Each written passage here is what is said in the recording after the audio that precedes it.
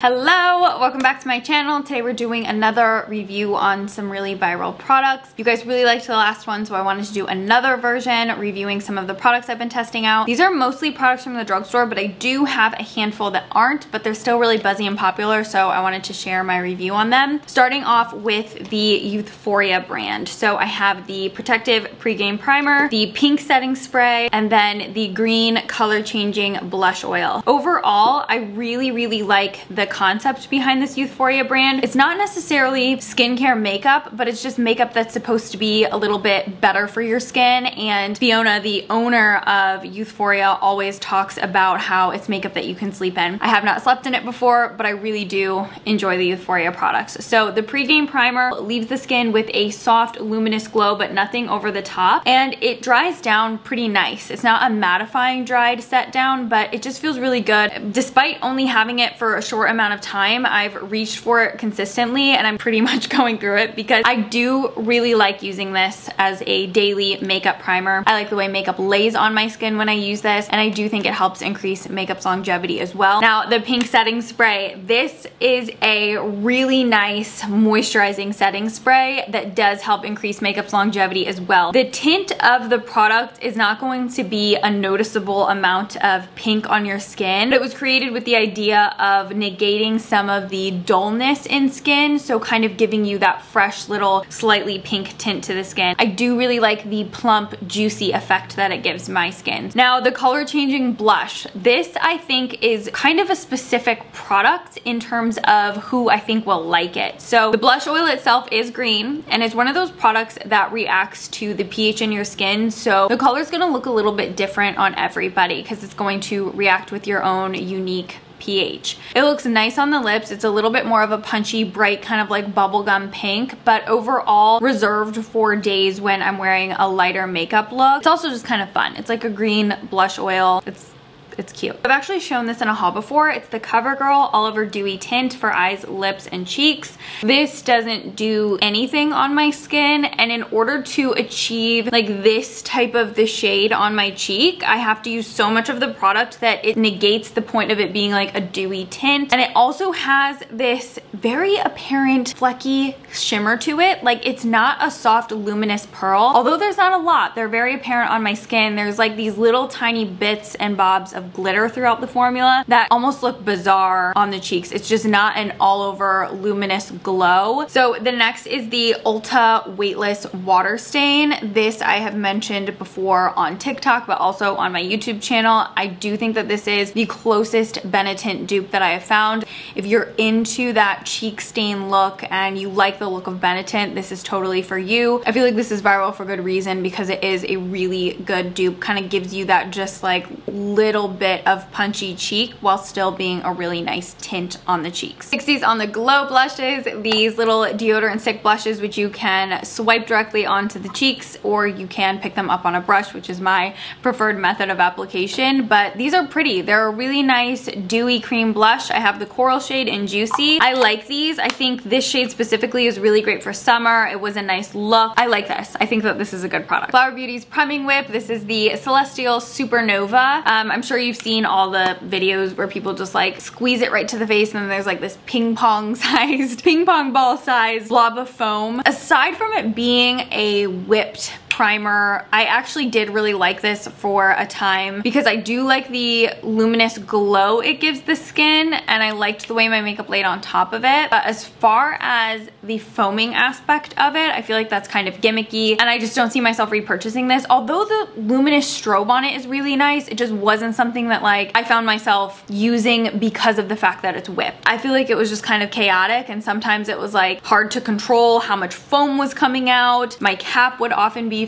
filled with foam. I don't know. I just, I don't, I don't understand the point in it being a whipped foam, I guess. Sun-Kissed Trio. This is by Alleyoop I do like this little kind of accordion mechanism that the product itself has. I like this, but for whatever reason, I don't find myself really being a person drawn to this type of product. Essentially, it's created so that you can throw it in your makeup bag. It's easier to travel with, this, that, and the other. I was keeping it in my tote as like a touch-up throughout the day, but not necessarily reaching for it to create my look. So the product is good, but in terms of wanting to use use it and being wowed by it. It's not a bad product. It's just like I would rather use singular products through my collection that I already have and then found the purpose of this product being something that was easy to throw into a purse and use for touch-ups throughout the day. So in that sense, I do like it. Okay, next up we have the Revolution IRL Filter Foundation. Revolution as a whole is definitely a brand that catches my attention. I feel like I'm pretty consistently impressed with the products that I try from the brand. The IRL foundation is definitely more of a soft satin matte finish on my skin. Now, the formula does tend to get a little bit more dewy the longer you wear it. So when your skin's natural oils start peeking out from the foundation and it kind of has some time to set down, it doesn't tend to stay that matte on my skin past an hour. So you can easily switch that up by just putting a dewy setting spray on top or using like a dewy primer. Overall, I really like this. I think it has a nice soft blurring effect on the skin. The e.l.f. No Budge Cream Shadows. I have two shades here. I have Golden Days, which is this peachy one, and brown one is the shade Plateau. I wanted so badly to like the tangerine one because I love orange eyeshadows, but this formula is just extremely difficult to work with, specifically the orange one. It goes on my eyes patchy and the product sets down rather quickly, so it's almost like when I'm applying it, certain areas are setting down quicker than others, so I wasn't able to get like a universal opaque wash of color on the lids. I was trying to use it kind of like a MAC paint pot or just any type of cream shadow. Unfortunately, with Golden Days, the formula just didn't work for me. I used it as a base for my tangerine eye look today and it worked out pretty well, but I really did purchase this with the intention of wearing it solely as a really fun punchy tangerine on the eyes. Now the other one though, Plateau, it's like the formula is completely different on this one. It's slick, it's creamy, it slides over my eyes really beautifully. I can wear it opaque or I can sheer it out for just a little bit of kind of like a tint or like a smoky look on my eye. It works really well as an eyeshadow base and it also works really well as an eyeliner as well. So this one has a much more emollient creamy formula and I find that this one doesn't set down where I feel like I'm racing against the clock to blend it out. Drugstore lip oils. I feel like I need to do an entire video dedicated to lip oils. So we have the Milani Fruit Fetish and then the LA Girl lip oil. This one is in Sheer Watermelon and the Milani one is in Cherry Lime. I also have the mango one as well. Now the thing I like about the Milani one is this one tends to ring more true to the Clarins lip oils, the Dior lip oils, because it has significantly more of a punchy tint to it and it feels like a gloss and also nourishing like a lip oil, but like it's not overly oily to where it drips down your lips. Whereas when you see the LA Girl one swatched, it just has faintest touch of pink to it. I feel like you can just barely see it. So that's honestly what it looks like. I just think the punch factor isn't really there with this lip oil specifically. And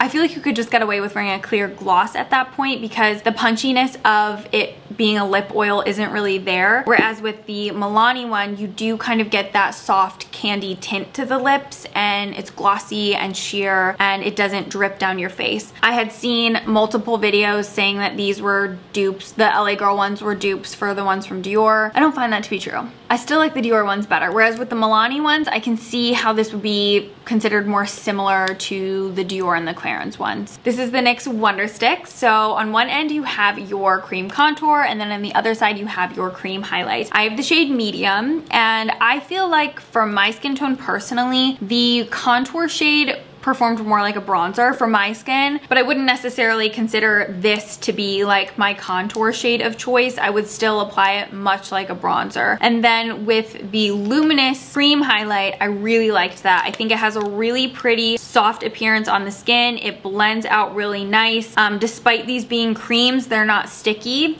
And I really like how the Luminous side has a nice consistent pearl. There's no, um, you know, apparent flecks or chunky bits of glitter throughout the luminous side. So I did really like that. I like the ease of a product like this. And honestly, when I'm thinking about it, this is really kind of the same idea as something like this. But I couldn't tell you why I would reach for this more than this because they're very similar in tones and in formula as well. I just find that this seems a little bit more practical in terms of makeup application on day to day. All right, so those are all of the viral makeup products I wanted to review for you today. If there are any other makeup products that you are seeing seeing all over TikTok or YouTube that you really want me to review, please leave them in the comments down below so I can check them out and review them for you in a future video. And if you didn't see my other one, I'll have that linked in the description box down below because I have a whole separate video reviewing some more of the more viral buzzy products on TikTok and YouTube right now. So I will see you in my next video. Thank you so much for watching this one. Bye everyone.